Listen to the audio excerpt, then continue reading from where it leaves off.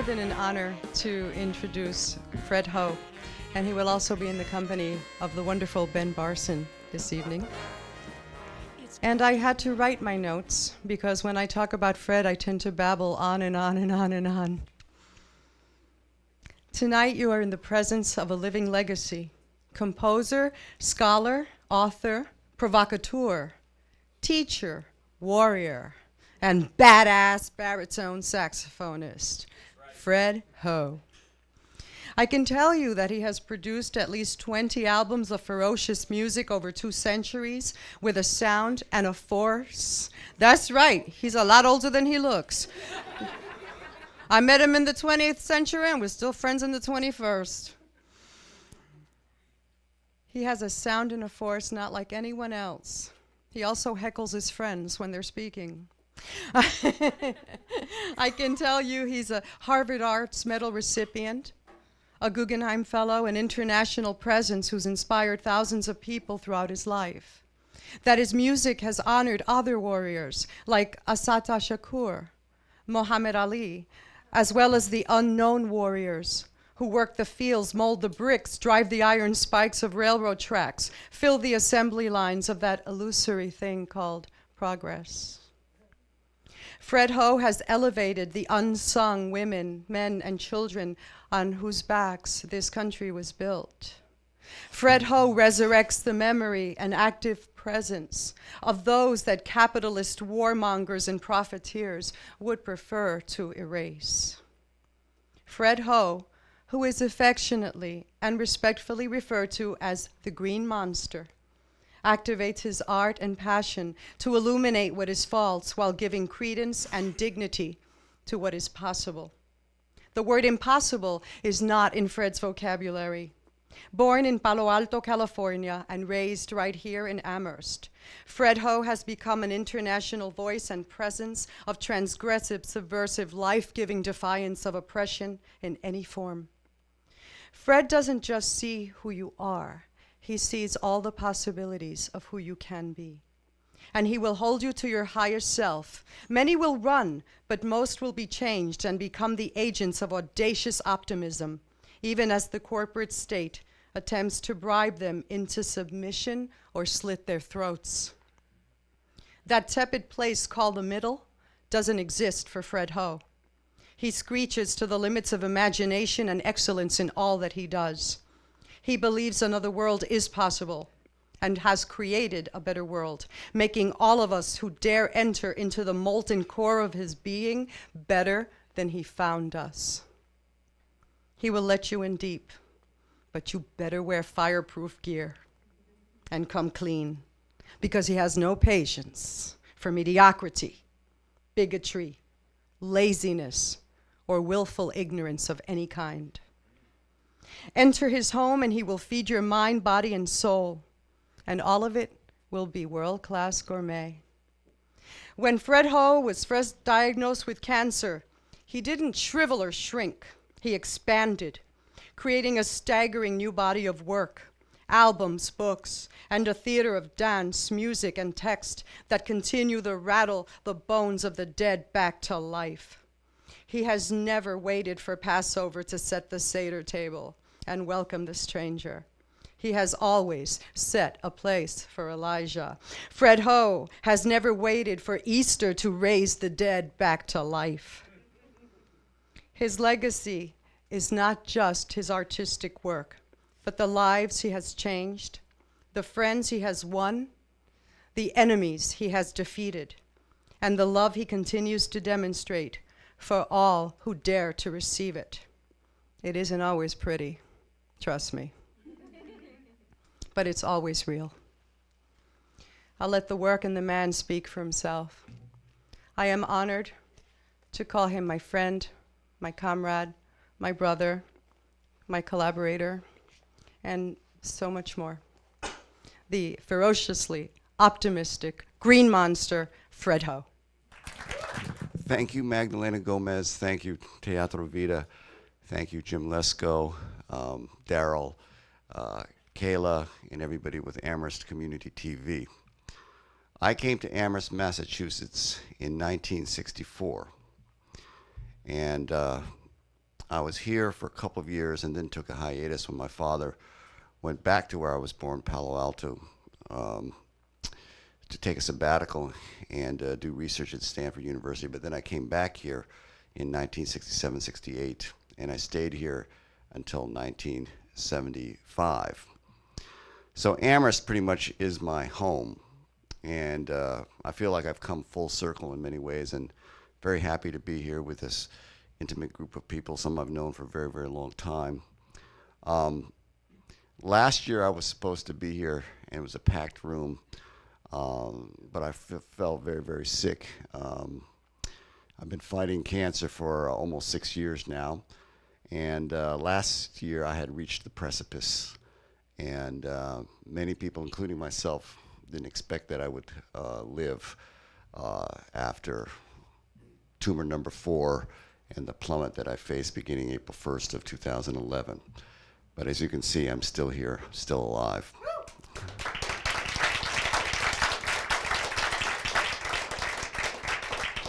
That cancer now is stage 4B metastatic.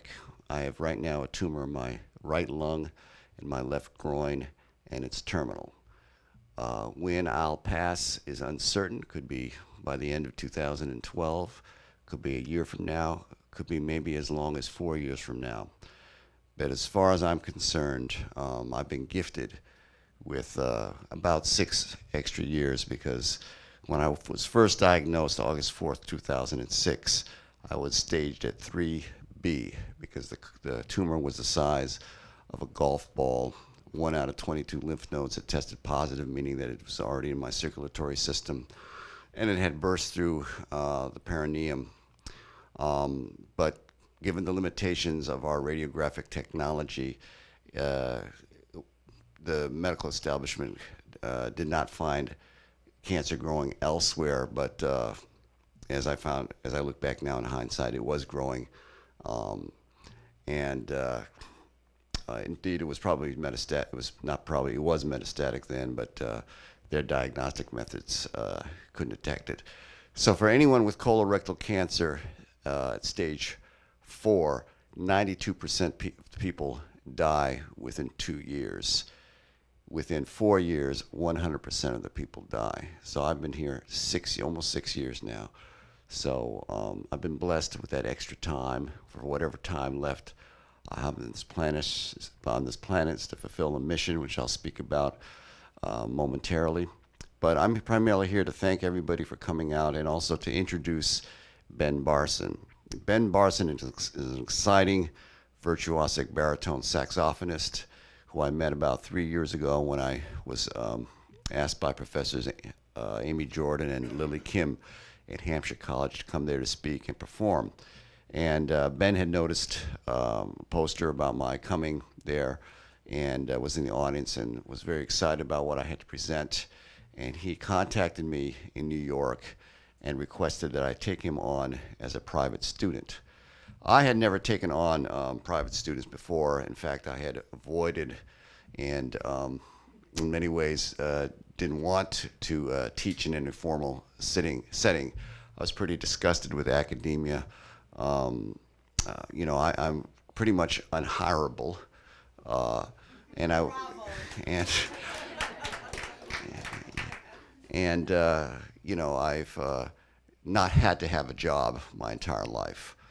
Uh, I've been been an artist, creative artist for my entire life, and uh, done well. Um, and uh, didn't need to have a teaching job, but I saw the enthusiasm in this young man, particularly beyond just musical. Um, uh, he was interested in the fact that my revolutionary ideas in politics seemed to permeate and pervade everything I did, including the music. And he gave, he also heard in my music and also in, in, the, in reading some of my writings that I understood the fundamental ontological and epistemological blackness of so-called jazz. And I throw out those big terms only because he may speak on this more eloquently than I. But by 2011, after studying a, a year with me, I um, employed him in my professional work. Uh, first, kind of subbing for me as I became very, very ill uh, in April of 2011, and then pretty much taking on the baritone saxophone chair in my two principal ensembles, the Afro-Asian Music Ensemble and uh, the Green Monster Big Band. So I, I, fi- I feel that Ben um, is a voice of the future on not only his instrument, but in terms of his consciousness and understanding that this music that's been uh, mitigated in the term jazz uh, is a revolutionary music, and that that music itself offers a vision to attain uh, way beyond the limits of our uh, present consciousness and physical existence. So please welcome Ben Barson on baritone saxophone. You know, I'd like to, you know, just mention briefly what a true blessing it has been to work with uh, Mr. Ho. He's such an amazing saxophonist. He truly walks the talk and talks the walk in a way that I didn't know was possible. I grew up in a suburban northern New Jersey town. It's predominantly white, upper middle class, very alienated. Uh, it was kind of like in the movie Bring It On, jock dominated. Jocks ran the school and walked around like they were gods. And they were treated like gods, so much so that in 1989, uh, when the football team raped a retarded girl by the name of Leslie Faber, the school administration said, Oh, don't prosecute them, those are our guys. Make no mistake, these guys are the same guys that burned the indigenous civilizations to the ground, that permeated genocide in Europe, all over Africa and Asia. And I firmly believe that the imperial masculinity there has its roots hundreds of years in the past, but they will be judged. This is called Ballad for Leslie.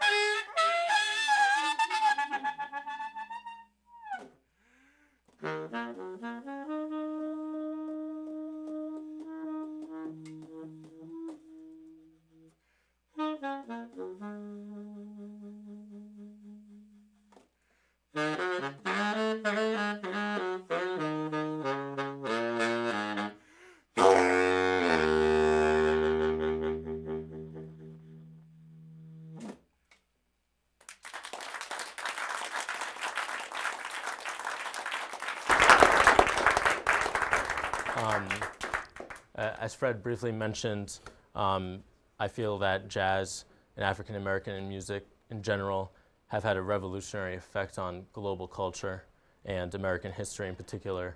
Um, and part of the reason is because of the importance they've played in giving um, African Americans, in my mind, a, a, coherent sense of identity through the massive migrations and displacements and diasporas they face in this country. Uh, Ralph Ellison put it really eloquently when talking about the great migration of slaves from the semi-feudal South to the most capitalist uh, and the most, at that time, socially complex environment that hetero existed in human history, the cities. Um, he said in those days it was either dying in noise or living with music, and we chose rapidly for the latter. Well, I was thinking about the Stono Rebellion in 1739 when 20 escaped slaves turned into 100 through the use of the drum on top of a hill and stormed Charlottetown. I thought that's what living with music meant as well.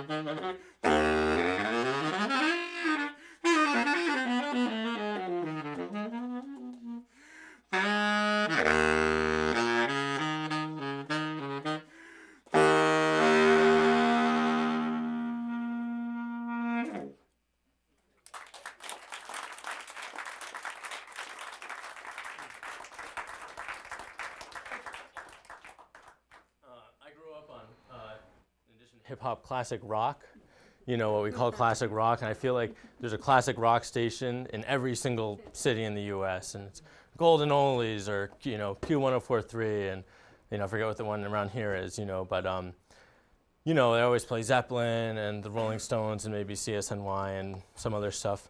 But you know, few people realize that um, the, the, the rock movement of the 60s was um, the white revolutionary consciousness that had spread from the third world into uh, the alienated middle and working whites in the US at that time.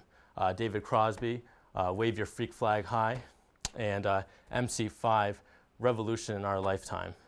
Uh, this is a tribute to that era of music. It's called M16.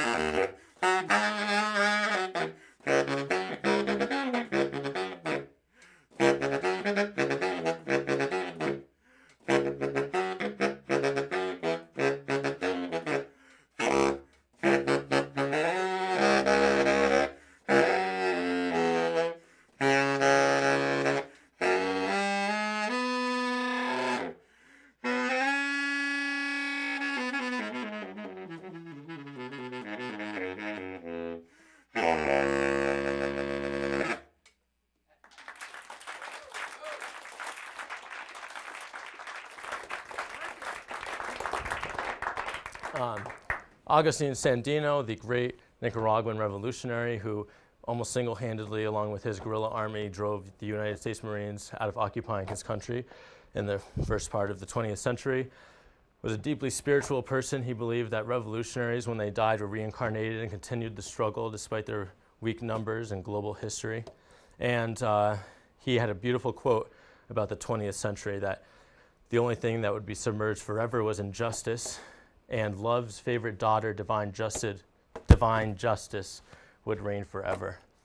This song is a tribute to him, and it's called Love's Daughter.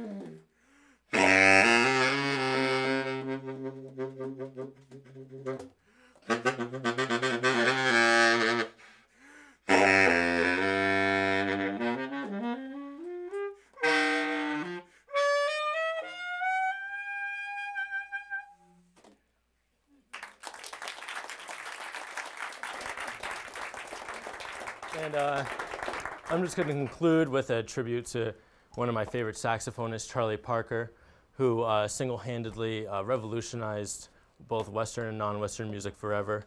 He took the most advanced European concepts and threw rhythm right back in their face. And despite his legacy and how he's trying to be canonized and how he's remembered, he was a musical and cultural revolutionary. This is called the Red Blues for Charlie Parker.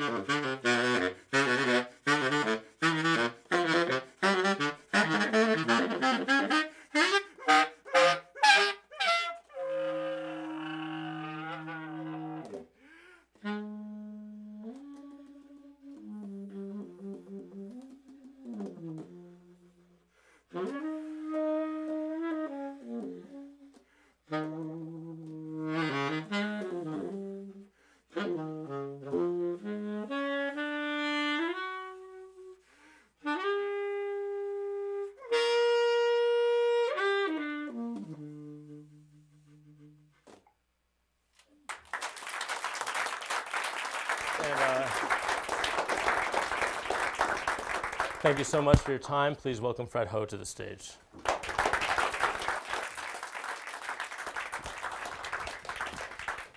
Thank you, Ben. First piece I dedicate to my friend Wes Brown. Thank you for coming, Wes. It's based on a traditional Chinese folk song titled Sung Lang. But I expanded this folk song as part of a commission from the American Composers Orchestra and developed it into a concerto for baritone saxophone and symphony orchestra that had its world premiere at Carnegie Hall in 2008. It's entitled When the Real Dragons Fly. It has four epigrams that precede its performance. One, I was schooled on records and radio. My teachers were common sense and imagination. Jimi Hendrix. The lesson self learning is always the best. Number two, when the prison doors open, the real dragons will fly. Ho Chi Minh. The last shall be first, the first last. Third, everything possible has been tried and nothing has changed. What we need is the impossible. Sun Ra. The lesson revolution is extremism. And lastly, fourth, using the rat race as a justification is no justification. Fred Ho.